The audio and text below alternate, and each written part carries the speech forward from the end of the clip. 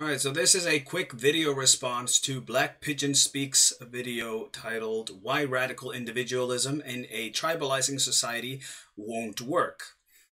Now, I'm making this video, this response video, because um, I'm, I get a sense that I'm missing a lot of the why in how Black Pigeon Speaks uh, is construing his case.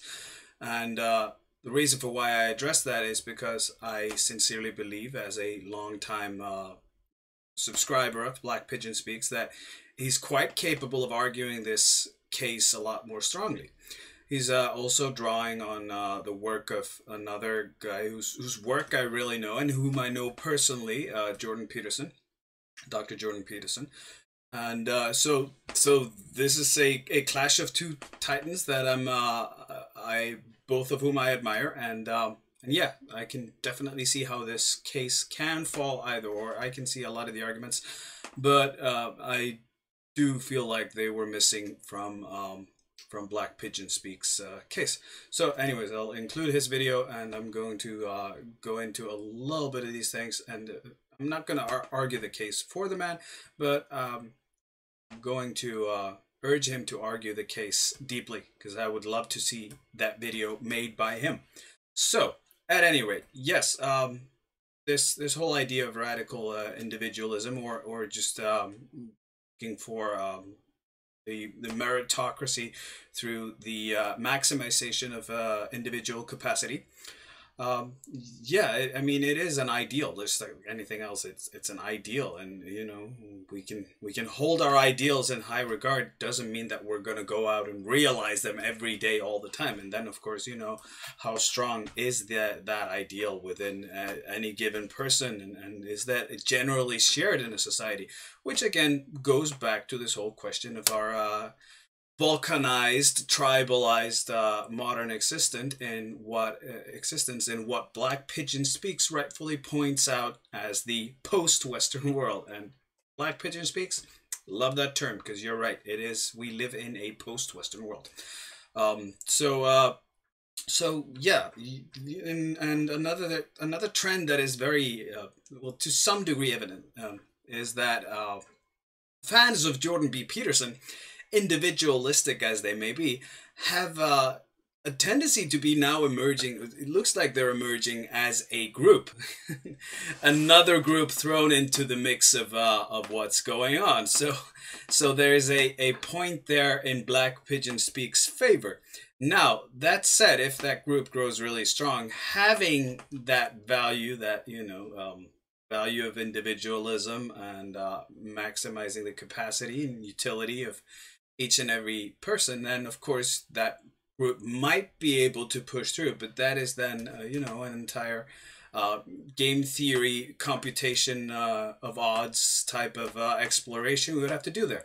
And uh, quite frankly, yeah, you know, we can cal- try and calculate our way to it um, as much as as we want, but uh, at the end of the day, we're still gonna have to see what times bring bring forth, right? So, so yeah, there's that. And uh, the other trend that may end up happening is, uh, again, the you know if you take intersectionality to its uh, logical conclusion, it's just going to divvy up the minorities within minorities within minorities within minorities till you end up with what we've always known on the libertarian end of the spectrum the ultimate minority of one a group of one, the individual. So uh, we might end up with these uh, groups just constantly uh, antagonizing each other. And as we're seeing a lot on the left, and we'll see as uh, we'll see this on the uh, on the uh, in-group preferenced right a lot more as as they they will rise towards more power and influence, they'll, they'll, that, that trend's going to be born there as well. They, you know, you see those groups when they see that power is right there for us to take it, um, they start um, attacking each other like hyenas. And uh, we're seeing that within the latest thing, I pointed this out, within the LGBTQ community. Uh, um, then, of course, uh, within various factions and approaches to uh, to the welfare state, where you know it's there's almost like an orthodoxy. You're uh, you're not you're not a real socialist. You're not you're not too you know far enough to the left, if you will. People uh, now bashing out that Bernie Sanders is not far enough to the left for them, and and then even you know within racial groups, uh, you you know you're you're too pale to be a real black, or you're an Uncle Tom, or you know all these kind of things. That these these groups will keep divvying themselves up when either a they're threatened, or b they see a shot at grabbing more power and then someone wants to ascend through the ranks. Now, this is going to happen on both the, the right and the left during those various parts in the cycle when A, they're, they're having an, getting an extra upper hand, or they're getting threat, threatened and being pushed down the ladder, and you know they, they need new strategy. They're going to, going to be breaking up, you know. So there is a chance that the breaking up of those groups into more and more subgroups is going to drive us there. But uh, again, as uh, we've seen in a lot of places, and the term balkanization exists for a reason. If we look at the Balkans historically, if we look at the Middle East historically, then uh, we we very much see that um, once you have this disease in either a society or a geographic location, it's very very difficult to ever get rid of it. And uh, yeah, you know, the people who brought this about in previously peaceful Western countries, uh, they should be held accountable because they brought in uh, a disease that uh, is going to be with us as a reality, uh, as a pandemic for a really long time. A, a social cohesion disease, a cognitive uh, um, and, and value assessment disease. Um, and, and yeah, given just aside from everything, uh, what can be considered right or wrong, what is moral and immoral, um, just or unjust. Just the the the fact that they have created uh, a beast of a nature that that wasn't there before and uh, is going to be more to the detriment of uh, societies and and uh, human development than uh, than you know to uh, to progress. That's you know empirically that speaks for itself, and I you know, coming from the libertarian uh, end of the spectrum, I acknowledge that uh, we've been uh, wrong and, and shaky on this this topic as well. It was uh, an idea among libertarians for the longest of time, and, and among many still is that you can uh, elevate the global utility by simply just moving labor around where wherever it's most needed. now we've seen that it's not human beings aren't quite there to be able to just jump into new places and integrate uh, on the spot obviously you have to pick up a language a customs uh, a way of uh, you know um, social interaction within a certain place. We still uh, live uh, under the reality of cultures and civilizations and uh, linguistic spheres. That's it's an empir- empirical reality that we can't really deny just yet. It's it's right there. Uh, so yeah, so uh, so with uh, as much as I would love to see a uh, integrated cooperative world, we're just in the way that it's been practiced, we're just not there yet, and uh, we now risk at losing every gain that we've made over the last two or three hundred years, uh, just because people with some not too well thought out ideas have been uh, uh, pushing things by force, and uh, it's uh, it's a tragedy to observe that.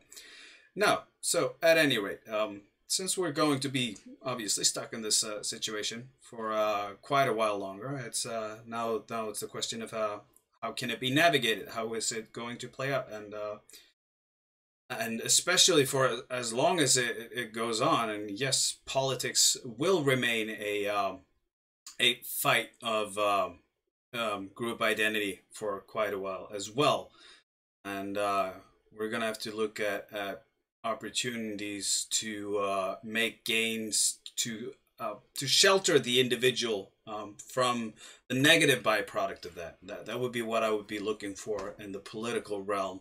As much as I, as a, a libertarian, don't see politics as a means uh, or as a tool that will uh, produce solutions, you know, constructive solutions. Um, I, I really uh, don't don't think much of politics as a tool for positive change. If you, but then again, that is also uh, it's, it's an ideological stance based on uh, some severe empirical assessment. Now, um, what else was I going to throw into this mix? I'm, I'm babbling around in circles uh, quite a bit uh, already, and I, I realize that, but I, I think most of you guys are, are kind of uh, following my scattered um, scatterbrains uh, trail of thought here.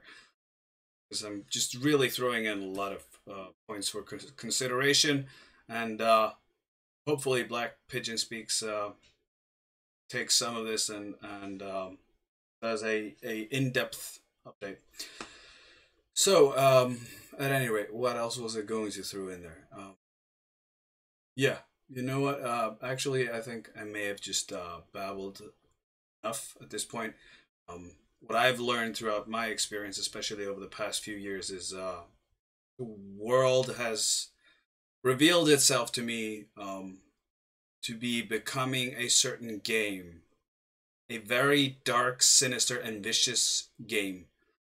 And um, the reason for why it, it elevates itself and it, it looks so clear to me is uh, because I, I, I, genuinely feel like I understand it. Um, I see a game that I really don't want to play, but um, I recognize the game and uh, I see it as something ma- manageable so that in the event that I would want to play it or would find myself forced to play it, um, knowing that I, I would do very well at it uh, puts me at peace in some ways, but knowing the dark and sinister nature of it also causes great distress and concerns. Um, and it does eat at my soul. Now, then, of course, for me to reconcile that reality with myself is to ask me, ask myself, um, if I were to go out all in and play the game, who would I want to play it for? What would I want to play it for? Where would I want the windfall of my successes to land and be of benefit? What is the benefit that I would want the byproduct of my participation in said game to do? And uh, making sure that uh, that is something worthwhile and, and that that becomes something um, I can look back on and say, well, hey, at least I didn't add more to the carnage and fire, um, and uh, unjustly so, even you know, uh, all unjustly so. It's always unjust um, to to add more to the carnage and fire, but if I can, uh, you know, be uh, more of a remedy than a continued toxin, then that will be something that I can hopefully at the end of my days reconcile. No, no. I think I'll end it on that note. Black Pigeon Speaks. Look at this, pick up the topic, go deeper. Um, you want to uh, reach out and do a collab, let's do that. Um, down for it. We'll find the time. As uh, as busy as I've been and neglective of my uh, audience, and I'm sorry, guys. Uh, we will address that as well. I have no excuses and I will make no excuses. There are reasons, but I will make no excuses because I don't believe in excuses. So, at any rate, without further ado, that's it for now. Finding the right hand. Viking out.